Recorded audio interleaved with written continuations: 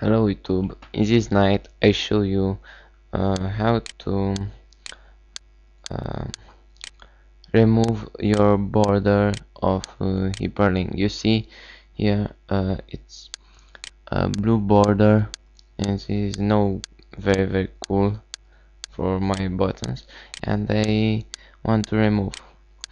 It's very simple. Uh, select your image or your image or button. Okay click. And here border it's uh, select uh, it's type nothing.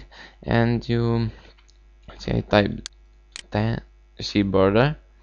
And now uh, type 0 and again you see no border for your um, your button or, or your image. Okay thanks for watching and don't forget to subscribe